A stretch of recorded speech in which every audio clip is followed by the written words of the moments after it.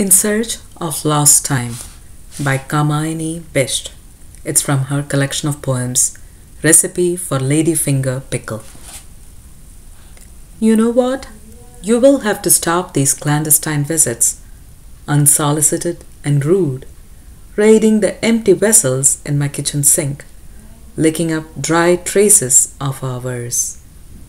It's curfew time after all.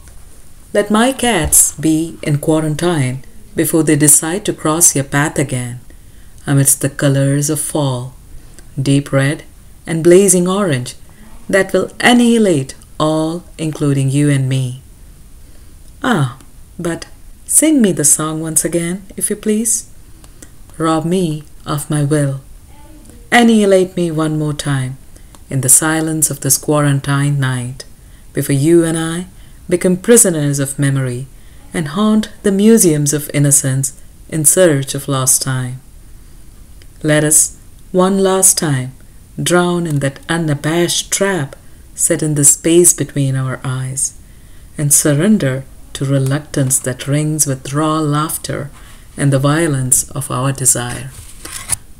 Let us touch each other in the deepest corner of our beings, so the ring of an eternal longing till we do not meet again.